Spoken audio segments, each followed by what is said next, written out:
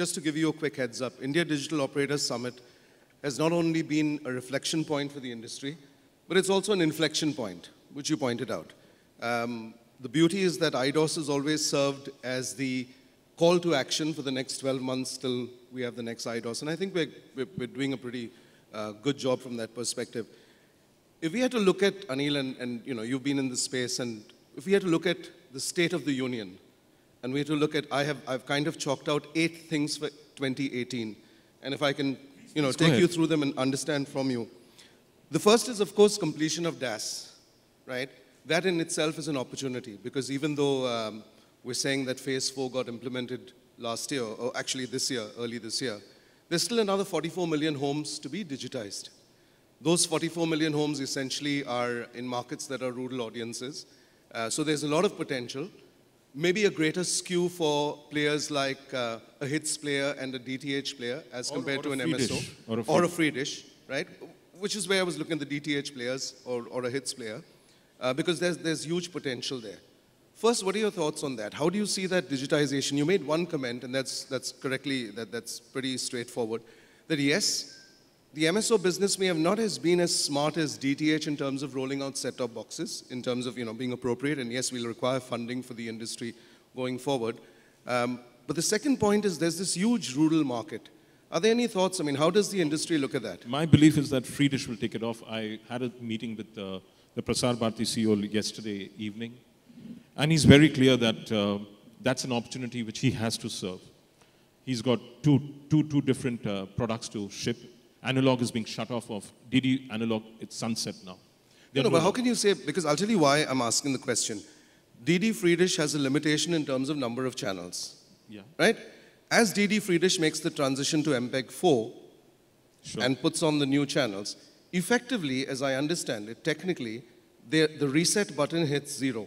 Sure. Because if I have an MPEG 2 box, I'll only have the 90 channels so they have, a, have. They have a strategy for that also. Okay. They're going to be using DD Sports okay. with all the sport that they have to push the MPEG 4 boxes. Okay. So, you know, what Shashi said is that uh, he's very happy that he's not sharing the rights on cable TV. The sports, he's not sharing the feeds. Because now that's going to allow him to push DD Free Dish to all of India, to right. the rural heartlands. And, you know, they're not really paying for the content, the okay. rural heartlands. So that could be a magic switch, one. Secondly, in terms of uh, hits could be another, another, another possibility. Uh, as far as cable goes, it's not viable for them to lay cable, especially sure. the kind of costs which they have to incur, the capital expenditure which they have to incur when they're setting up the head ends. The homes are very far and widespread out. So delivering cable to them via, uh, delivering television service via cable may be a challenge. And for on profitability. If you look at what, again, I studied the Airtel results, they're having a challenge in, uh, you know, realizing what they've done in phase three areas and phase four areas, wherever they've done, because cash collections, the systems are not in place, you're not, you're not able to your networks are not in place to be able to collect money from whoever, wherever you're putting the last mile, especially if you're doing a secondary acquisition. Okay. And building up is very expensive in rural areas. So HITS is an option, which uh, Hindujas are providing. Right. DD Free Dish is an option. DTH is an option. But DTH, the price points, price, price points are a little high. That's why the government and Prasar Bharati decided to push Free Dish, which makes it more affordable. But that's why the DD, that's why the DTH industry is fighting for the open skies policy, right? Because if the open skies policy is respected, and by the way, DD Free Dish is also um, pushing for the open skies sure. policy, which means DTH can also create bigger skinny bundles or free bundles like hits and, and, and other. Yeah, and, and the rural yeah. customer doesn't care. If you go back and see what BARC has come up with, even the older free-to-air shows, or the older shows on free-to-air channels are getting viewership. Okay. And they're getting a lot of advertising. Partho can attest to that. Yeah, so the rural audiences have never seen that content before. For them, it's a first viewing. So they're very happy with what they're getting on DD Free Dish. Right. So taking off from DD yeah. Free Dish, so that was that was pretty much the first issue, which was digitization. You tell me about hits. Yes. What is your perspective on hits? Well, I think I think the the challenge uh, for any platform, and I, I, I look at it, while the country is completely DAS, um, the one issue that I believe, the reality on the ground, is that MSOs or, well, any platforms need to have a differentiated pricing, right? Uh, I, I put this line stating very completely that the coming year will see a lot of negotiations between DPOs and broadcasters to be able to create some kind of differentiated pricing because irrespective and contrary to popular perception, it is not a one size fits all. Right? You have, you have rural audiences, as you mentioned, where the, where the pricing of a package needs to be much more competitive as compared to the pricing But the broadcasters are not ready for that. But that's the challenge, right? Yeah. That's the challenge for the industry because it is nonsensical to say one size fits all and have a single pricing and say to every MSO, DTH, or cable platform. Yes, it's going to be a challenge because how do you differentiate markets? But knowing the fact that. Uh, Even the geographical definition is not clear. Geographical definition as per municipality Yeah. is. So that's a challenge. He may say, Yeah. what is a rural area? Is, is let's say, a little beyond Gurgaon, a rural area? I really, definitions are, definitions are challenging. But then that's the, that's the tricky part because then, to take your point on broadcasters, then broadcasters need to understand that such a move will inevitably result in three things. One is that um, more that the DPOs will have to offer subsidies on content to rural markets, which is not the best way to go because obviously uh, there, there's, there's uh, hemorrhaging, not just bleeding in terms of uh, content pricing. Second is they'll need to create, uh, reduce the amount of channels that they put in terms of pay and create FTA bundles as, as a bigger place. Or third, they're going to lose uh, subscribers to the FTA space, which is DD Free Dish. So shouldn't broadcasters, You know, they don't, I mean, if you look at what Star has done with, uh, with Bharat, Star Bharat, they're clear that, uh, you know, they're playing both the games. Pay TV will probably be a more elitist kind of a thing, uh, you know, with maybe, uh, and then go for free dish for, for, you know, they're kind of balancing both sides. So, But it's limited, right? It's still limited. I mean, one, while we all know that free dish is a challenge and it's, it's, it's happening and we all have a strategy, it's a bit of a slippery slope at the same time, right? but it's a slope which is finding traction if I go by what BARC data is giving me. I go by BARC, that's the only metric, metric which, we, which we get on a week on, base, week on week basis. Whereas the studies are done over larger time frame, longer time frames. And a lot of the uh, statistics by companies like Media Partners Asia are based on you know, uh, some kind of formula which they come up with. And those don't, so how many of these numbers are really proved out? You should go back and st- study some of the reports. Most of them don't really uh, pan out as, as they are, you know, As- as seen, as as predicted. perceived. Because there are so many dynamic market forces which are there, which don't come into play. Who expected demonetization? Who expected GST to come into place?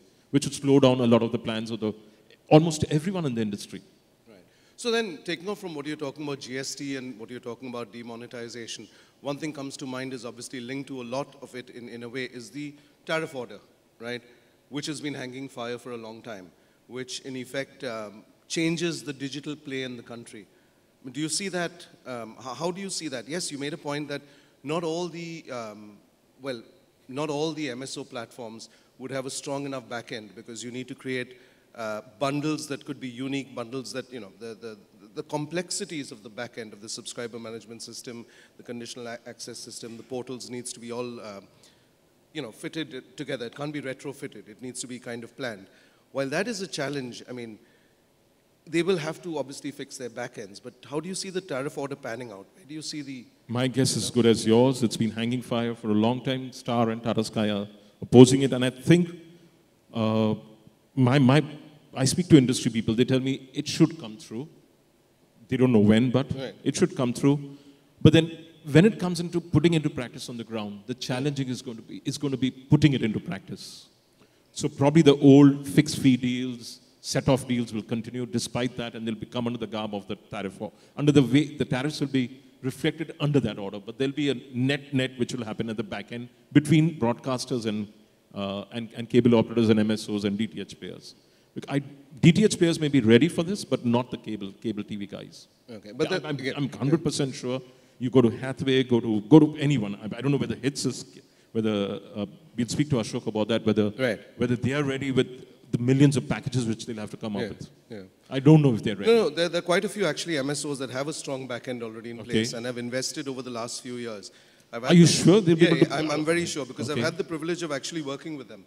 Um, hits for sure. A couple of good, strong MSOs have the backend.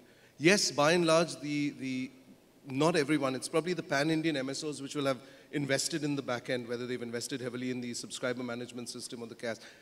Processes is where the challenge is going to be. Yeah. Workflows is where the challenge is going to be.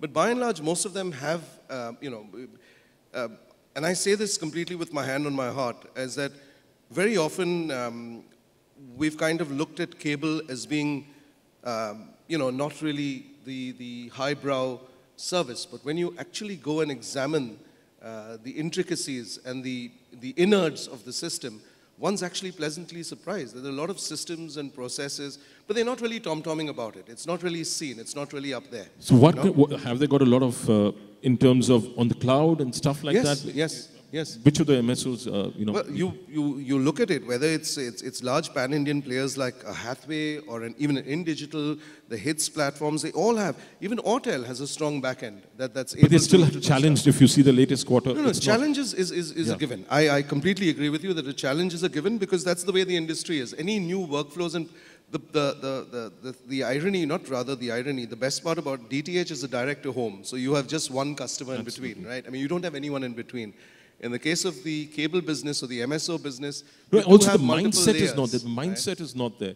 DTH is always at the mindset Yeah. of being able to serve and the customer service aspect. Well, cable guys give you very good service, Right. but in terms of IT backend, that's where the mindset is not there. Right. Because it's easier to give a little bill and get the money rather than have so many package packages and market it.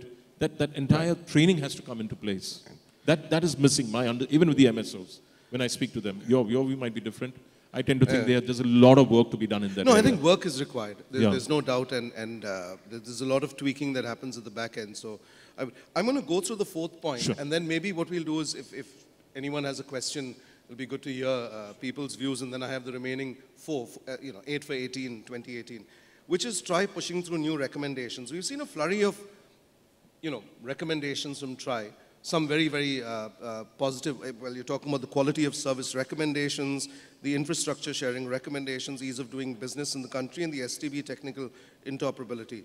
If I look at the ease of doing business, right, uh, or let me actually focus, yeah, the ease of doing business. TRAI is trying to create an environment that will encourage the DPOs to be innovative, develop new technologies, prototype new services. So they actually are making uh, uh, strong inroads. What's your sense on, on TRAI's overall objective for the industry? Because on one side you've got that, on the other side you've got an STB interoperability which started out as a very noble, uh, well-meaning process, but which has, and, and there was just an open house um, day before with, with TRAI in terms of the technical challenges that STB interoperability would bring, including you know, affecting swapping, etc. Where's your sense on how these consultation papers are integrating and how they're going forward? See, the idea is, uh, you know, the, the, the, the entire objective is, of course, like you said, very noble. Uh, and, and TRAI does talk with, with a lot of the stakeholders before coming up with the consultation papers and before finally drafting rules. Uh, technology is changing very fast.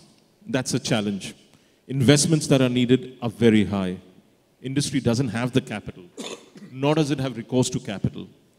Uh, by the time that, my understanding, by the time the, they become regulations, it probably is, they're one step behind what is happening in the marketplace. Technology going Yes. way, leapfrogging Like what's. I don't know where any of these will be relevant when Jio begins in March Right, with FTTH. I have, I don't know whether any of this will make sense at that stage. At that point in time.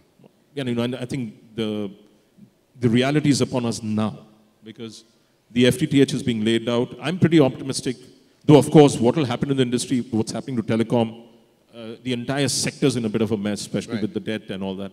But they want to disrupt, and disruption is coming. Right. And it's a severe disruption which nobody, like nobody expects it. And you don't even, they can't even imagine it. Right. I'm going to I'm going to take uh, uh, uh, take a take a hard stop for a bit here. We have you know four more four more heads and uh, ladies and gentlemen, which are part of our eight for 2018, which is consolidation of the industry that we we're going to talk about. The free world, which we've covered to a great extent, the FTA and how you know companies are looking at their challenges. Uh, Reliance Jio, friend or foe to the overall industry. And of course, the last but not the least, the OTT play.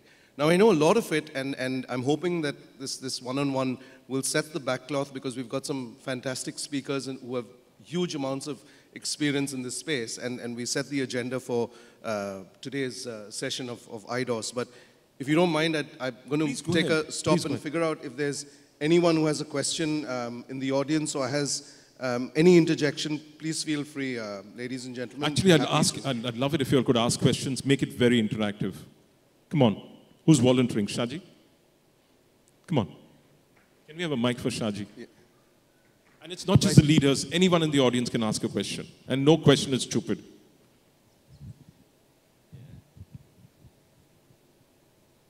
Hi everyone. Hi Anil. Hi Vince.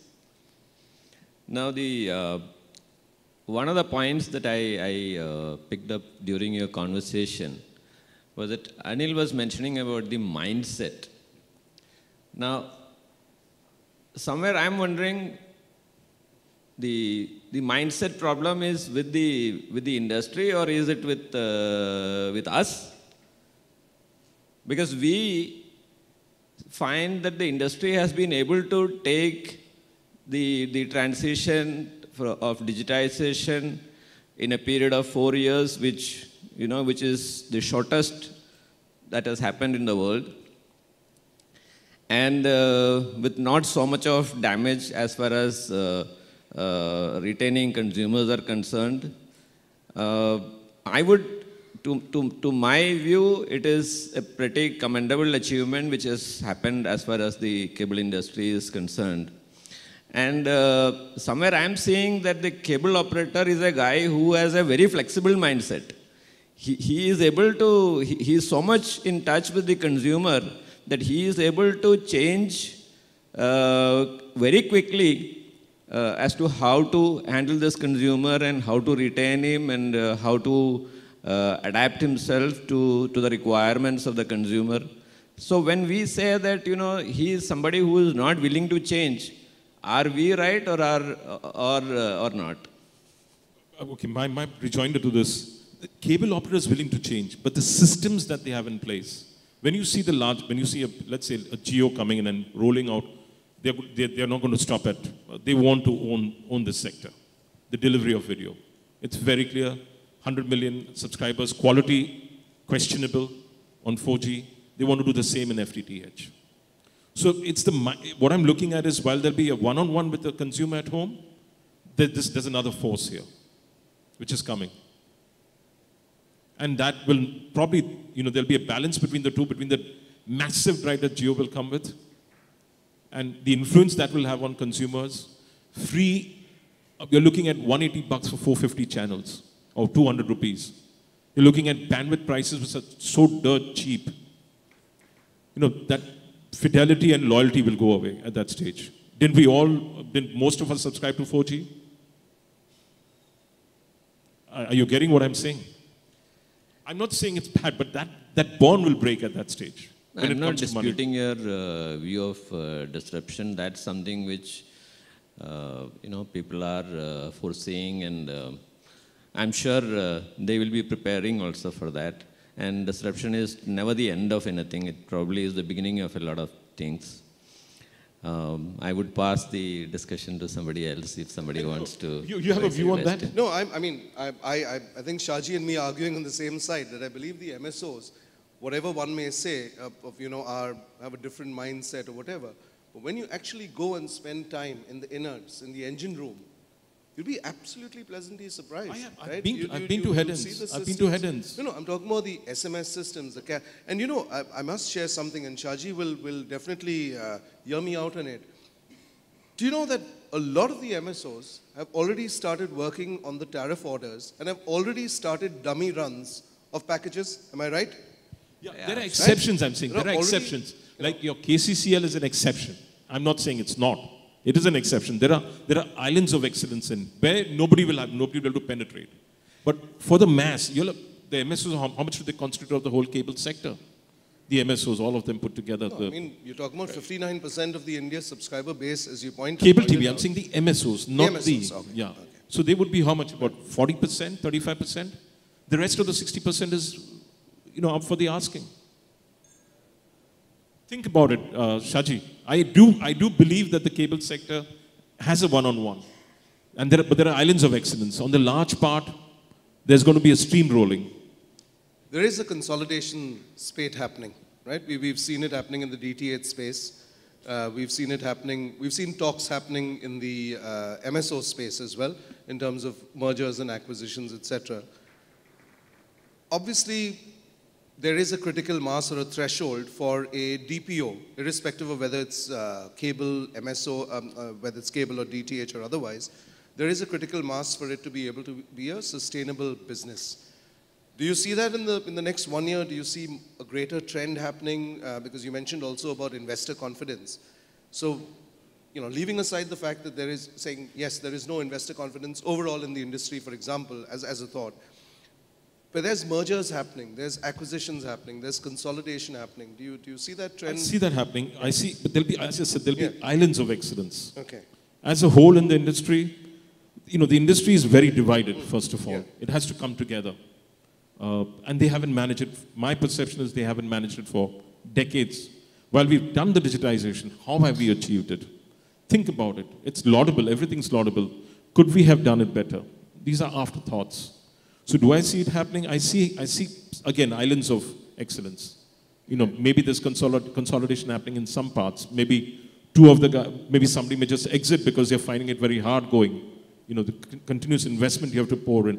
My understanding is, you know, a hits platform like Next Digital could be uh, bleeding to the tune of 30, 40, 30, 35 crores a month until you get to profitability. How many people have the courage to, uh, you know, absorb those losses?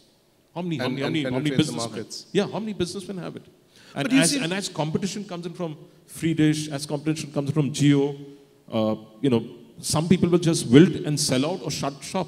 Some will, will get together. So there'll be islands of excellence. I don't see it happening consistently all over.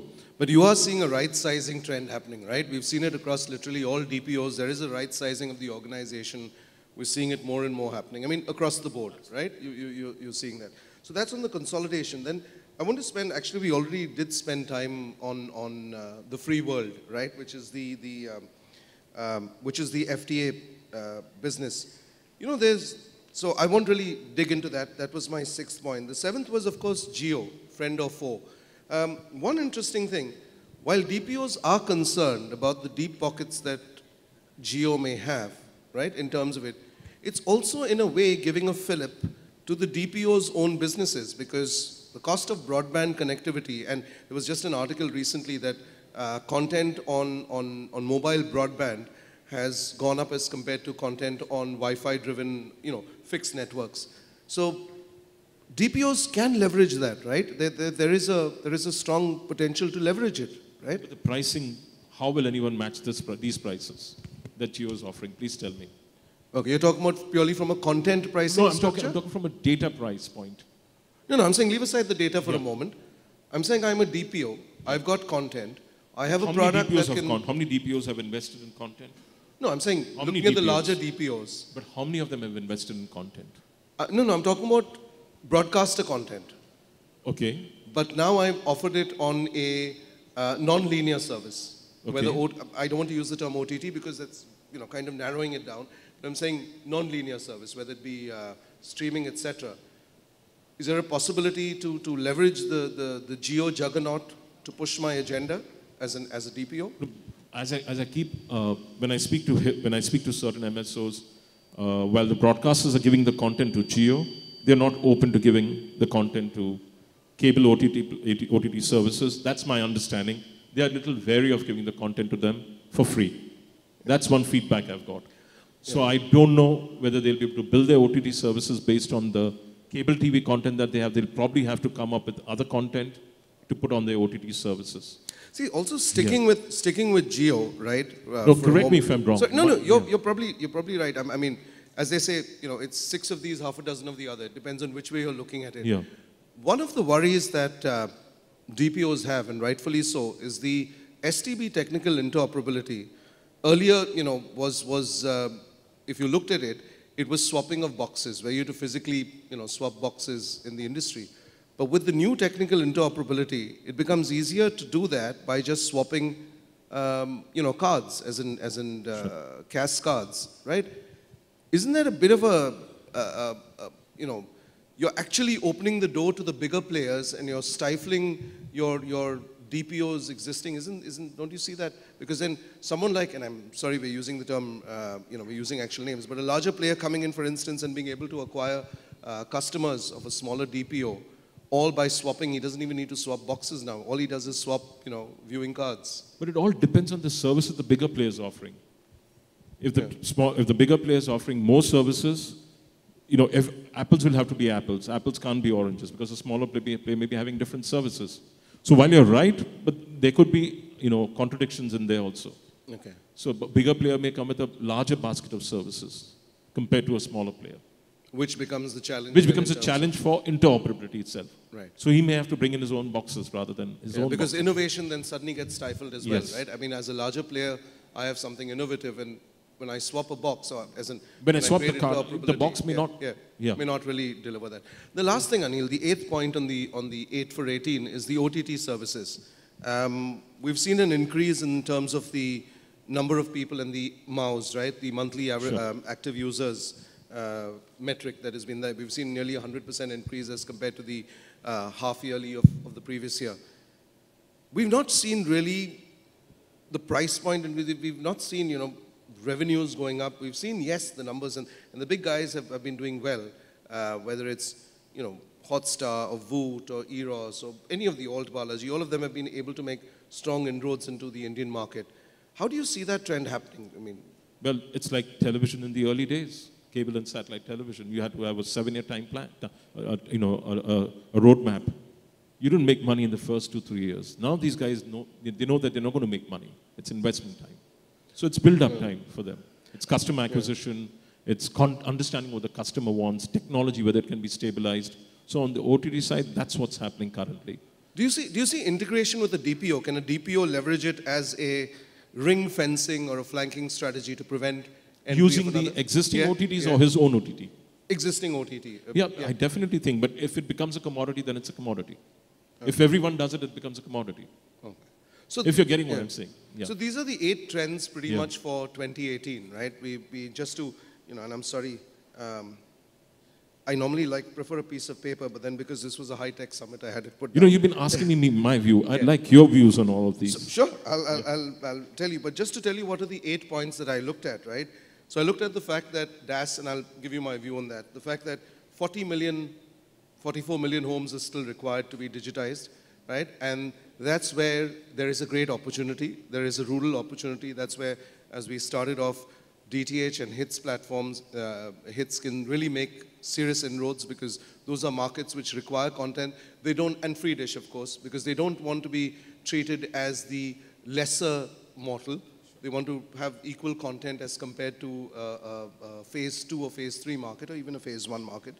Uh, we've achieved, as Shaji pointed out, digitization faster than anyone else in the world, mandated digitization. That was the first thing in completion of, of DAS. Um, STBs, as you rightly pointed out, yes, that's a clear challenge um, where the industry has accepted that we rolled out STBs not because we wanted to roll out disparate STBs as compared to say DTH was probably better organized, but as the MSO industry, and I speak, you know, having worked with a lot of the, the MSOs, we were also constrained by the timelines and by the challenges that were there and by the availability. So a lot of boxes got The rolled Chinese. out. Exactly. A lot of boxes got rolled out that if you, if you looked at it in hindsight, as they say, hindsight is a beautiful thing because it's 2020. Um, in hindsight, you wouldn't have done it. You would have probably done it differently. But that's still a challenge, and that is going to be so funding for better boxes or better products is going to become a challenge. So that's in terms of uh, the when first do you see that happening? How many years? See, do you see that in the the- next? see- I see one and a half year. If Yeah. they don't do it, they're going to be in trouble. I, I think I think what's what's happened, uh, and this is something that you know I'm I'm, I'm privileged to be part of the the ground uh, reality, is that customers by and large are not unhappy with their standard definition viewing experience, right? It's when they're given, and Dish TV recently started this all for HD, right? I remember um, earlier recently. But when they're experiencing HD, high definition, they're really blown away because they've never, not, not really experienced it. And we're seeing a greater penetration. So rather than seeing a better set-top box coming in, you're seeing an upsell happening. Sure. Uh, you're seeing an MSO or a DTH or any platform going in and saying, you know, you have a SD box, here's the experience for HD. And to be fair, this is the one place where broadcasters also um, see eye to eye, you know, with, with, with platforms, DPOs, and are happy to push their high definition content at a probably a low price point uh, to, to, to increase penetration in the market in HD. So that's on the, on, the, on, the, on the first piece. I think the second piece, different pricing for different DAS areas, um, Anil, is going to be a, a challenge. Broadcasters will need to figure out a way, right, on how to structure pricing for different DAS markets because And how do you see that happening in DTH and I- geographical well, demarcations? like I said, I, I completely agree with you. It's, it's, it's, it's wishful thinking. It's, it's you know, I'm, I'm sitting here and, you know, drawing up this uh, fairy, fairy tale cloud. But the fact is, if it's not created sooner rather than later, one of three things can happen. DPOs have, will have to be forced to subsidize content to phase three and four markets, which is a huge challenge.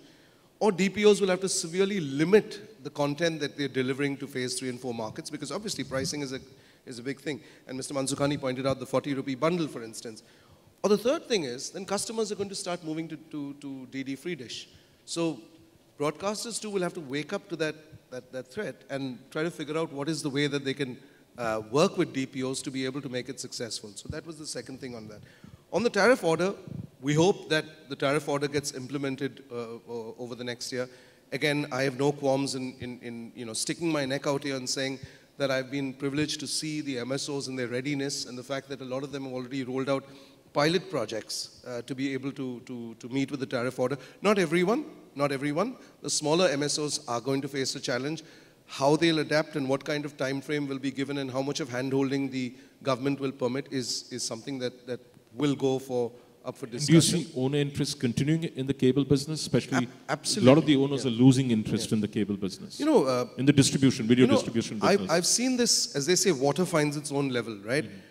And it's not the first time that we've had trends, right? We've had trends in the past. We've had the um, MSO digitize, sorry, we've had digitization of phase one. We've had digitization of phase two. We've had DTH coming in as a competitor for the cable business. I'm talking about way back 2005, 2006. But every time, the industry is a very strong, um, resilient industry in order to be able to make that leapfrog. And your question, your, my, my guess is as good as yours, that how much of promoter uh, you know, interest is going to be there. But I think just given the fact that where the industry, the way things are panning out, is that yes, there is a robustness in, in terms of and resilience in the mindset that listen, we have a challenge. The beauty is that it's, there's not a single platform maybe there are a couple of platforms who have not, don't believe in it, but there are most of the platforms are acutely aware of what the challenge is. No one's living in a cocoon. No one's living in a bubble saying, "Oh, I'm going to, you know, oh, I don't know what's going to happen." You know, no, some of, the, some of the groups are moving towards broadband. Exactly. And, the, Yeah. and you know, video is becoming Yeah. marginalized in the, Yeah. as part of the business plan. Right. So that leaves the window open for video delivery to other players. Exactly. No, I, I agree with you. But the beauty is that there's no one who's saying, you know, woe is me, you know, I don't know what's going to happen. Sure. They're, they're- they're happy to take on the challenge and, and create a, a, a, a, a so, so that was on, on the tariff order. The TRAI new recommendations, Anil, that's, that's something that's really interesting. Um, I'm very delighted, for example, on the uh, ease of doing business because it means um, DPOs, whether DTH or cable or OTT or others, can experiment and innovate with new technologies uh, which hitherto were probably limited or not permitted under the, the, the current guidelines in, in the country. So that's a, a- very good thing. STB interoperability, I, I, I personally have my reservations, and my reservations are uh, more from the fact, sta- stand out from the fact that whatever be the interoperability, it should also make sure that it's not as easy to swap um, services. There's got to be a very legit process to be able to swap services with a very legit, you know, how do I put it, technical uh, parameter there. Um, in terms of the fifth thing, consolidation, I, I hope to see the industry slowly picking up. So that, that, that's something that we've, we've been looking at. Um, the free world is, is DD free dish. While I'm with you in terms of how the numbers pan out, etc., when the reset button gets pressed, I'm curious to see what happens at that point in time, right? It's, it's more from that perspective on, on six. In terms of the last one, Reliance Jio, we just spoke about, and I You know, concur with told you that? my Absolutely. I mean, they're, they're the ones with the deep pockets, right? But I personally believe that deep pockets is not necessarily the answer to everything. You know, you can, you can go ahead and buy everything that you want, but you also got to make a business out of it. So there are challenges even for them because there's a strong entrenched industry, whether it be cable or whether it be DTH. It's not going to be a picnic all the way Definitely. right? It's not going to be as easy as people think that I've got, you know, 20,000 crores in my pocket. I'm going to go and buy. It, it, it, it's, it's not going to be that, that, that easy. So I'm, I'm quite. Uh, and last, the OTT services, like you, I believe that there's a strong potential, and I also believe there's a strong potential for OTT to play a greater integration role, perhaps with the DPOs. And create flanking and business strategies. So those are my 8 for 18, 2018. Great. Uh, Thank Anil, you. Thank you very much. Um, And, and I am going to be, pleasure. Ashok and all of you, all, I am going to be pushing the buttons. I am you. going to be pressing your buttons. So be ready for that. Thank you. Thank you, ladies and gentlemen. Thank you.